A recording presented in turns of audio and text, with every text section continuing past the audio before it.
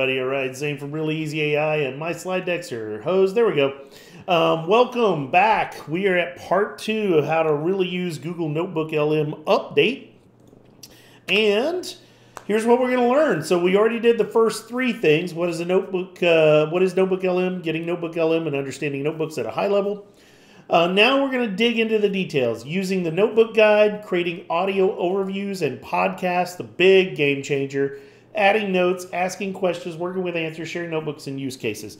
I hope we'll get through all of it, but if not, we'll do a part three. Now, before we do any of that, and I get into using the notebook guide, I realized I didn't show you my secret technique for websites that uh, it won't let you have. So real quick, we're going to head on back to our notebook. And uh, first, we're going to just do a search. It doesn't really matter what we search for here. Um, let's just do a search on AI News. Just kind of make it easy here. That's what's got meta on it. I'm not sure why. There we go. All right, so I'm just going to look for AI News and find a traditional website. Uh, let's see here. Uh, artificial intelligence could help with. Nah, no. Rolling Stone again. Let's take Rolling Stone here. Uh, I bet Rolling Stone has it. So I'm going to take Rolling Stone here. Doesn't matter what it's about. And then I'm going to come back into my notebook and try to add it as a web source, right? As a website source. Now, what's most likely going to happen is, as I try to add it, there you go. You see it fails. So if I click on information, unable to import this web page due to source restrictions. Okay, not a problem. I remove it, but then I turn right around, and if I go to Archive IS, put in this website. Hopefully it's already been stored. Yep, archived 21 hours ago, right? Got all the text that we want. Take that, come into Liquid AI, add source, website, boom, give it the archive link. No problem whatsoever. So, archive is going to start becoming your best friend. If you want to link off to web content, it's a whole lot easier than copying and pasting or anything else. I tend to use archive quite a lot these days for a variety of purposes. So keep that in mind. Um, there you go. It's been added. It's in here somewhere. Uh, I actually need to remove it. Uh, where, to, where to go? Oh, here we go. AI generated girl, blah, blah, blah. So I'm going to remove that because I don't want it to pollute our uh, stuff. Also, I'm going to remove this uh, uh, WAV file that we have here because it also is not related to uh, liquid AIs. So again, it's why it's why I told you always make sure your notebooks are kind of around a theme so that you can keep related items together. That's where it becomes really powerful. Put a, putting a whole bunch of unrelated stuff together really doesn't take advantages uh, of what uh, this thing can do for you. Okay, moving on. By the way, to get back to the main notebook page, you, at any given time, just up in the upper left, click where it says Notebook LM, and it'll take you back to your main notebook page. That should show you your current notebook. Uh, I know you're going to wonder right away if you can change the icon. Sadly, you cannot. Uh, it is determined for you. Uh, and then uh, give you some example notebooks. The reason I don't like the example notebooks is you can't do stuff with them. They're public notebooks, and you can't really do stuff with them. Um, so this was back in the day when we could share public notebooks. They made these public. Uh, you can't really do that anymore uh, in a meaningful way, so that kind of blows. But but you're really restricted in what you can do with these. So I don't really lead with these. They're great for just asking questions, especially this one, Introduction to Notebook LM. But um, you know that's why you're here, right? That's why you're watching the video. So let's move on. So let's talk about using the notebook guide. This is a huge, huge deal. When you first create a notebook, uh, you're going to be presented with a notebook guide. And the notebook guide is going to give you a lot of options. It's going to give you a ton of options. Uh, and we're going to look at all the things that it can do for us, right? So, for example, it's going to, uh, uh, in the Help Me Create section, it's going to ask us if we want a FAQ, maybe a study guide, table of contents, timeline, very interesting, and a briefing documentation or briefing doc. It's going to give us a summary of everything that's in the notebook that is selected. Um, uh, and let's see what else. It's going to allow us to create the awesome audio overviews. We'll get to that a little later. And it's even going to have some suggested questions to get you started in case you're like, well, what do I ask? Well, it's got some suggested questions for you. So it is pretty, pretty awesome. Let's go and do that first. So uh, at this point, you should have your Liquid AI notebook. Go ahead and jump into it. Now, uh, right away, you're going to see, uh, if you're looking at I'm going to have to make room here. If you're looking at it, you, you don't see the notebook guide, right? It, it's hidden uh, so that you can ask questions, but all you have to do is click on Notebook Guide, and uh, it will show the notebook guide. Now, in my case, it is unfortunately going to be a little big for this resolution, so I'm going to have to do this with it. Okay. All right. So you'll see your notebook guide. You can click on notebook guide again in the lower right. It collapses. See there, it zooms in, zooms out. No problem. Now, um, these things, I love these things. Once you've got all your sources in place, if you intend to use all those sources, and actually we don't intend to use all our sources, do we? Uh, the, uh, the Google Doc didn't really have anything, and nor did the Google Slides. So I'm going to remove those sources because they're just going to pollute our answers, and I, I really don't care to have that happen. I think the pasted text was okay, was it not? Uh, yeah, it, it was relevant. Okay, that's fine. Okay, so uh, all the sources now deal with the subject matter at hand. I'm happy with that. So now I think I can go ahead and do an FAQ. So when you click on FAQ, it starts generating an FAQ. Now the only thing that really annoys me is it just calls it new note instead of giving it the title that it should. Um, but it happens pretty quick. And if you just click on the note, it creates a note, by the way. Just click on the note and then just give it a new name. We'll call this FAQ. Makes sense. Uh, when you're done, just click away and you're good to go. FAQ, Liquid AI FAQ. So it creates an FAQ for you. This is a special kind of note known as a saved response because it literally asked it a question, and this is the answer to that question. Let's go back. Let's go ahead and do a quick study guide. And again, same deal. It's going to create a study guide for us real quick um, that will help us if we're trying to study for something or get up to speed on something. I use this quite a bit when I'm trying to get up to speed on uh, new topics I'm not as familiar with. I love the study guides. And while that happens, by the way, you can do these in parallel. You can click on table of contents, timeline, and briefing doc. So they're all spinning now. And then you can just go back and rename them. You don't have to wait for one to finish. So here we've got the study guide. Again, just rename it study guide. Here I've got another new note, timeline, and another new note, briefing doc. So we'll do briefing doc. There's my briefing doc. And then, let's see, where was my, here it is, timeline, whoops. And then I've got my, uh, uh, uh, well, that's my deep dive, I think. Hang on, let me, let me double check. Let me do my timeline real quick. And it, you may want to go ahead and just knock these out all at once. What was that last one? That should have been the, uh, that should have been the table of contents. Where is that guy hiding at? Here we go. Yeah, this uh, this is our table of contents here. That's what this is. Okay, so we're going to call this table of contents. There you go.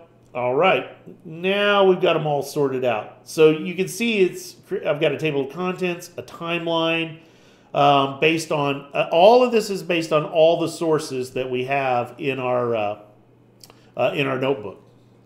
Now, interestingly enough, uh, if you want to create notes or uh, FAQs or any of these based on a limited number of sources, you are not required to choose all the sources. Let's say here I've got eight sources. Now, how do I know I have eight sources? Well, let me show you real quick.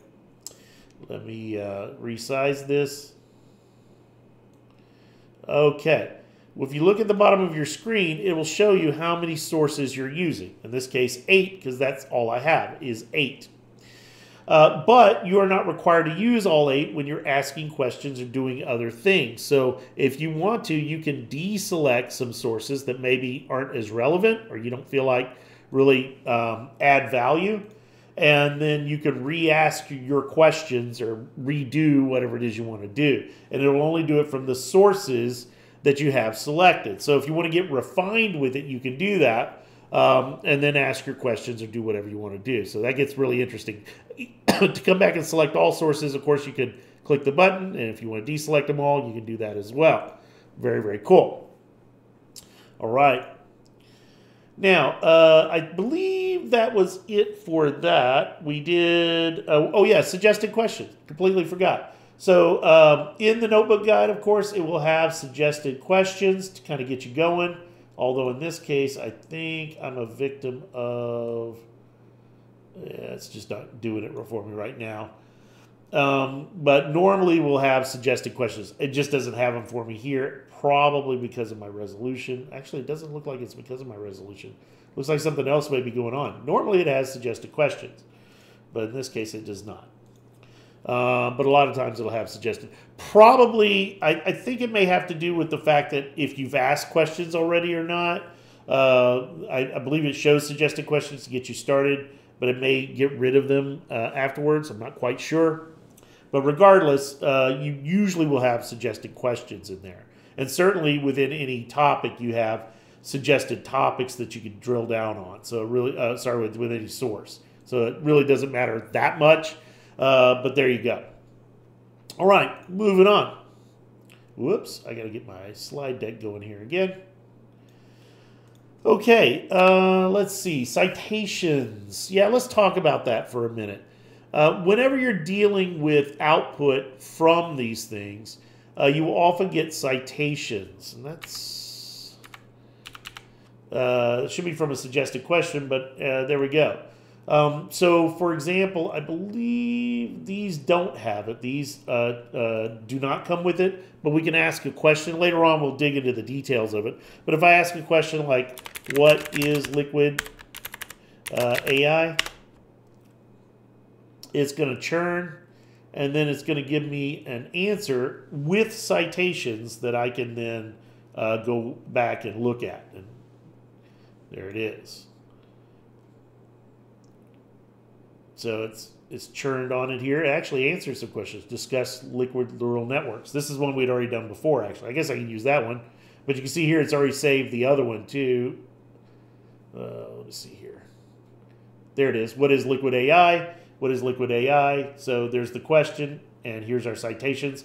And if you put your mouse over any of these, it will show you the um, text that it got the information from. And interestingly enough, if you click on any of these, it will actually take you to the source and highlight the exact words that it got its information from. That is super interesting. Now, we're going to dig deeper later on, but I just want to bring that up right now because I think that's kind of a cool thing for you to know about. All right. Now, um, what else? I believe that's it for now. I think we're in good shape. Let me uh, let me go ahead and get my stuff sorted out here. Give me just a second. Okay, uh, so that is it for that. So uh, we've already done the demo using Notebook Guide features. Lots of good stuff. The only thing we haven't done is the audio overview, but that's coming up right now. So let's jump into it creating audio overviews and podcasts. This is the game changer. This is probably the reason you came here in the first place. This is epic. Let's discuss. So, um, Notebook LM will literally take your sources and generate a podcast type thing. And it is incredible when you hear it for the first time. Um, it'll generate a podcast between a man and a woman discussing your stuff. And it is amazing uh, what it does. So um, uh, let's just go ahead and do it, uh, and then I'll show you how to share it. So here we are in your notebook guide. The only thing we didn't talk about, and in my case, I want to do it with all my stuff, so I want to make sure all my sources are selected. They are, okay? You see here where it says audio overview, it's got a little information icon. It even digs into it. Audio overviews are lively, deep dive discussions that summarize the key topics in your sources. This is an experimental feature. Here are some notes. Uh, the, the voices are AI generated. Uh, audio overviews uh, are not comprehensive. Audio overviews are only in English. It can take several minutes to generate. Yes, it always does. Uh, there's a little more here. You need to edit access to Notebook in order to generate, or you need edit access in order to generate these, and you can share your feedback as well. All right, great. Well, let's go ahead and do it. So here it says deep dive conversation, two hosts, English only. Click on generate. And right now it's 3.30 p.m. my time. I'm going to pause until it's done, give you a sense of how long it takes to generate it. All right, it is done. Uh, it is now 3:34 p.m. So it took about four minutes to generate this lovely eight-minute podcast, and I'm going to play a little bit of it because you really can't appreciate it until you actually hear what this thing's doing. So here we go. Give me a second, and away we go. So Liquid AI, um, when I first saw that, I have to admit, I thought, okay, another day, another AI company claiming they're going to change the world. Yeah, it's hard to keep up, right? Yeah. It seems like everyone and their dog has an AI startup these days. Seriously. But then, you know, I start going through the research he sent over, and this isn't just some fly by night operation. These guys come from MIT, like actual scientists, and their whole approach is different. What struck me right away was that they're deliberately not doing the whole GPT thing that everyone else is obsessed with. Yeah. You're like, forget GPT, we're building our own foundation. And it's not like they just, you know, came up with this last week. These are four scientists from, like you said, MIT's Computer Science and Artificial Intelligence Lab that's uh, not messing around, right? They spun off from MIT late last year, so they're still pretty new as a company, but they've already got funding from some big names. OSS Capital, even Pagliuca's family office. So that's That's a mix, right? Yeah. Like you got the hardcore tech investors and the big money folks. Says something Okay.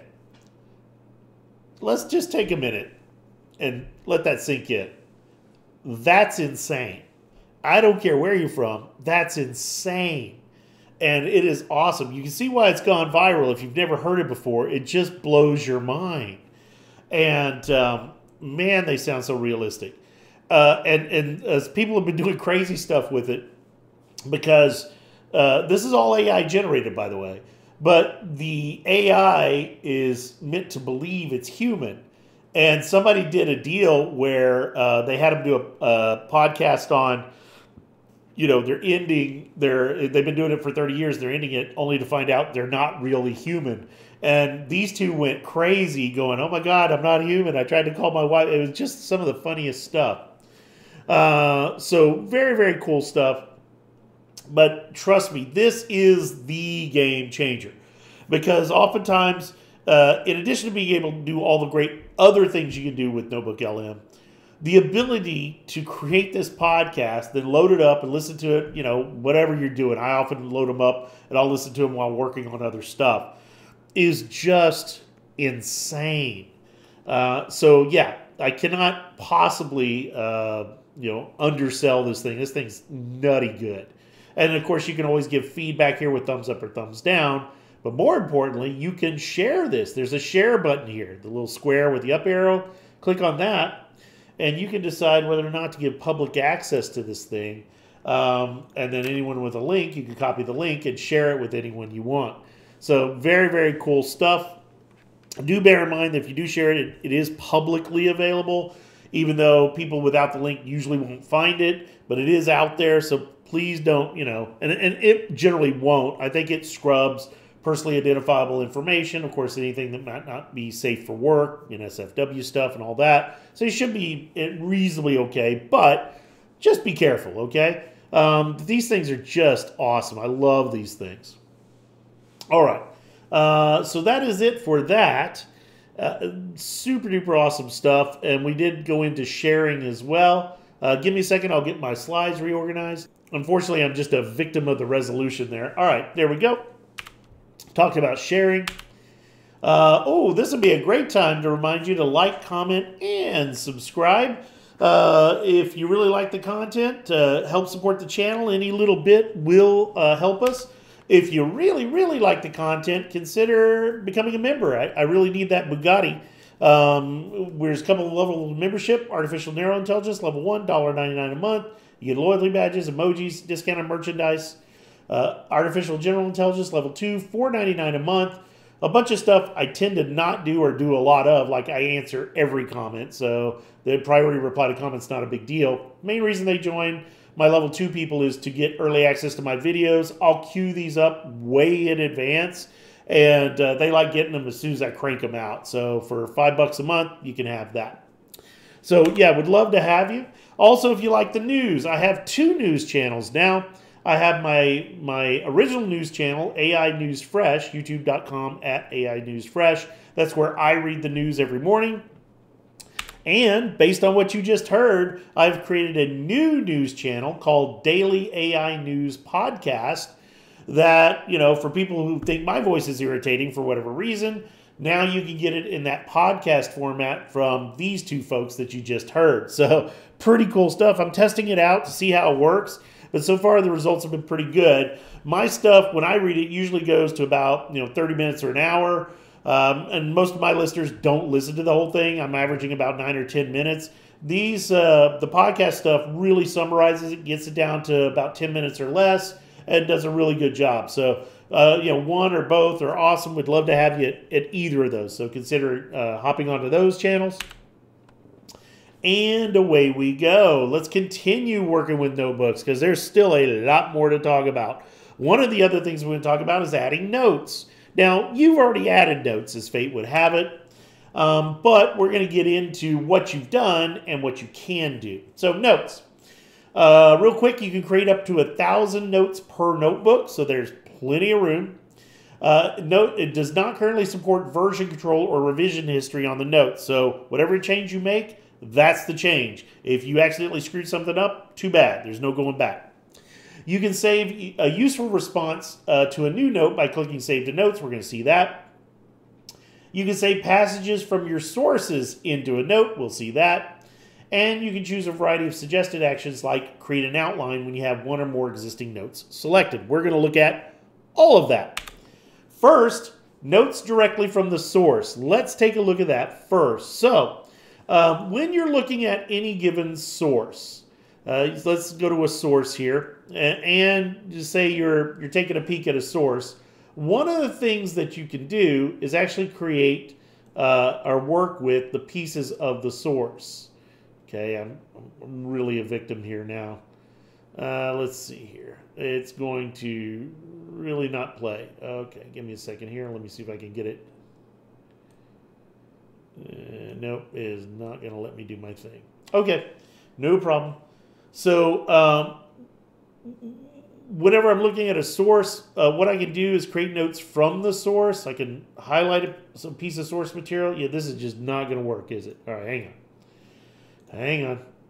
I can't believe it. Uh, this is what sucks because you've got I've got to I've got to deal with the um, resolution. So give me a second. Okay, sorry about that, folks. I'm not going to be able to do it. It just won't play. So um, if you go into if you got a bigger resolution than I do, and you go into um, any source and highlight some text, if you select any text, then down where the chat area is, you're going to see these buttons: suggest related ideas, summarize to note. You can actually summarize it to a note, uh, add it to an existing note, or help me understand. So any when you're working with sources, and try it now. Go to into any source, highlight a piece of text, and you'll see these buttons show up and you can click on any of them uh, to get the resulting actions. Pretty awesome. Unless you've got a shitty resolution like I do, and then you're kind of screwed. All right, so um, there are two types of notes out there. Um, there is the written notes that you've composed yourself and the saved responses that you've captured, either through chat interactions or quotes or whatever. All you have currently is your um, is your saved responses. You can see here, if you actually look at your notebook, we go back to our notebooks, go to Liquid AI. And if you actually look at your notebook, I'm going to collapse it there. You'll notice all of them right now are saved responses. You don't have anything but saved responses because we haven't done anything besides save responses. But if you want to add a note, you can. Just click on Add Note, the upper left corner here, and then you can put in whatever you want. Give the note a name uh, some cool note. And then you can, down here, you can type some text. Now, normally the window's a whole lot bigger, but again, victim of resolution. Put in whatever text you want. And when you're done, you can click on the little arrows or just click away and it, creates a note. Notice it makes a distinction between save response notes, which, which were the result of a query or a question you asked, and written notes, which was you going to add note and putting whatever it is you wanted in. Written notes are very useful if you've got little pieces of information and you want to quickly add it in because you think it'll be relevant. Um, that's why we like our written notes. All right. So you can work with one or more notes. I'm going to have the exact same problem I had last time, unfortunately, so I'll talk you through it. So with your notes, you'll notice they have these square check boxes. You can select one or more of them. Oh, nope, there it is. It's popping up now. Uh, there you go. All right. So when I select one, notice it says it has help me understand, critique, suggest related ideas, and create outline. So it's actually going to show it. If I get more than one, then it gives me summarize, suggest related ideas, create study guide, create outline, and combine to note. Yeah, it actually lets me combine multiple notes into a single note. I get asked that a lot for people who have just a ton of notes and they want to combine notes in a particular way. Combine to notes, uh, pretty cool little feature. So you can do any of these with the notes and it will do them just on the data in the notes, which is pretty powerful stuff. By the way, you do have, next to add note, you do have select all, deselect all, uh, and then delete notes for any notes you want to get rid of. So for example, this written note is really not helpful. I probably want to get rid of it eventually. Okay, um, so working with creating and working with notes, we already did that actually. Pretty cool stuff. You can create, you can modify. Actually, we didn't really work with it to my satisfaction. So let's do this. I'm going to select a couple of notes here, like a few of these, and then I'm going to say uh, combine note or combine to note, and it's going to put all of it into a combined note here called actually combined note, which I can rename. So it takes all of that, puts it into a combined note, and then presumably I did that so I could delete the other two notes and maybe make room for something, or because they were related, right? Maybe if I've been taking a whole bunch of different notes and all of a sudden I realize, hey, these five are related, I can select those five, combined to note. It's one of my favorite features. All right. Now let's get into asking questions. And this is going to be pretty cool too. Uh, at this point, we are almost 30 minutes in. Might be a good idea to stop. Let me see where we're at here. Yeah, it's probably going to be a good idea to stop and then finish up with that. Let me see. Yep, yeah, we'll stop here. I think this is a good stopping point. We'll stop here and continue with part three. Uh, that way, we because I've got asking questions and working with answers. It's real important, uh, and then we'll finish up from there. So uh, we'll pause here, boys and girls. Hopefully, you're enjoying the series. This is Zane. I'll see you next time.